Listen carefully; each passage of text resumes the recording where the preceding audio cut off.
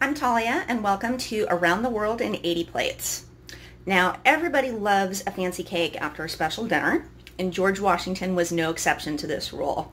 In fact, after his celebratory dinner at Fraunces Tavern in 1783, it was after a lavish 13-course dinner, one for each of the 13 colonies that fought in the war, and he capped off this dinner with a beautiful carrot cake. Now this cake was made the old-fashioned way with lots of cinnamon and nutmeg, and back in those days you really had to chop up those carrots and grate them and cook them and mash them up before you could make a cake out of them. To make this cake, you will need five carrots chopped, one and a half cups of sugar, six ounces of butter, five large eggs at room temperature, three cups of all-purpose flour. Since all of our recipes are going to be gluten-free, I would recommend using Bob's Red Mill. It is exactly one-to-one -one comparison. You're also going to need two teaspoons each of baking soda and baking powder, you're going to need two teaspoons of ground cinnamon, one teaspoon of ground nutmeg, and half a teaspoon of salt.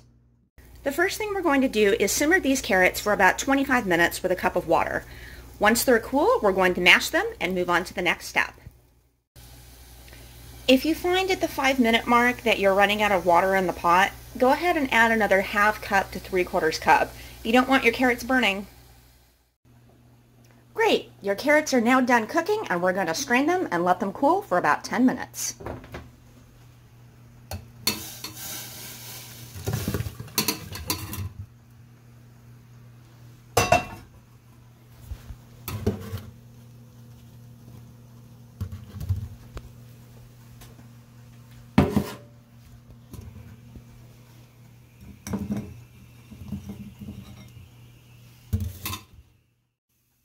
At this point, you're going to puree your carrots and then you're going to preheat your oven to 350. Now that you've preheated your oven to 350, you're going to go ahead and grease your pan. And one thing that I like to do when I'm not using parchment paper is after I've greased my pan, I like to put a little bit of flour in there just to prevent everything from sticking. So if you're not using parchment paper, go ahead and make sure that your cake pan looks a little something like this. And now we're ready to go on to the next step.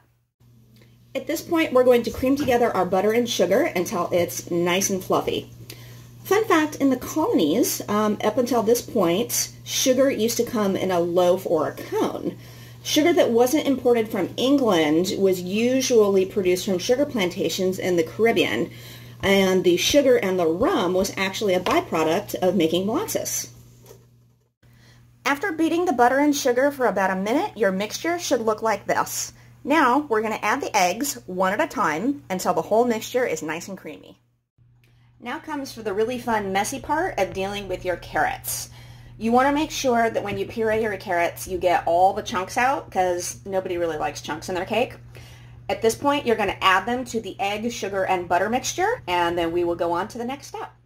So after you've got your carrots into the main mixing bowl, you're going to stir everything until it's nice and combined and everything kind of turns into a nice golden orangey color. Make sure all the carrots are fully mixed in. You don't have any lumps from the sugar or the butter or, God forbid, the eggs.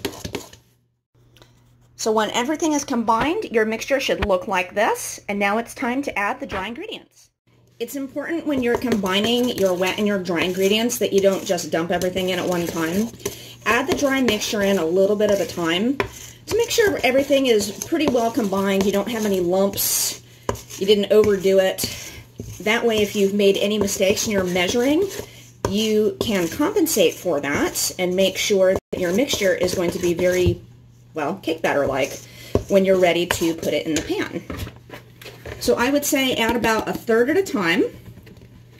Mix until everything is combined and then add the next third and keep going from there. I'm actually very curious to see what this is going to taste like when I'm done. It's not going to taste like a traditional carrot cake. Sorry, Mom. No walnuts, no cream cheese frosting. But apparently this was a really popular dessert item at the time, so no wonder George Washington really wanted this for his celebratory dinner. Okay, so far so good.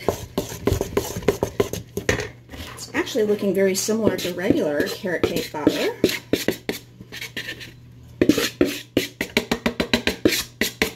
Okay, all that is in the bowl. I'm on my final third, and the batter is starting to shape up nicely.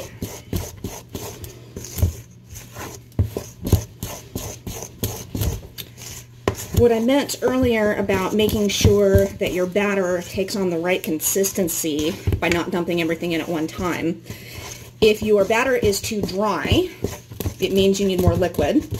If it's too wet, it means you need more flour.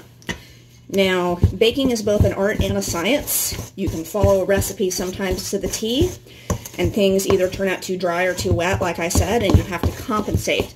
Don't be afraid to experiment because that's how you get better at these sorts of things. Okay, our batter is looks great at this point, and we are now ready to pour into the cake pan.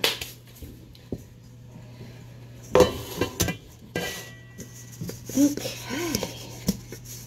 and we're ready to go. Okay, now we're going to pop this in the oven. The recipe says 40 to 60 minutes, but my rule of thumb is I always put it in for five minutes less than what the recipe calls for. You can salvage a recipe that's undercooked, but you can't really rescue one that's burnt. So I will see you in 35 minutes. Okay, here we are at the 35 minute mark. Let's see how our cake is turning out. I always like to insert a knife right in the middle to make sure that the center of the cake is done. And it looks like it's pretty clean, but it could use another two minutes or so.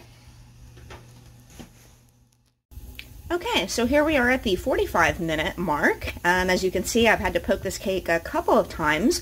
The center wasn't quite done. So again, I left it in for 45 minutes and the knife just came out clean. So we are going to take this out and let it cool for about half hour. And when your cake is cool, go ahead and cut a slice and enjoy.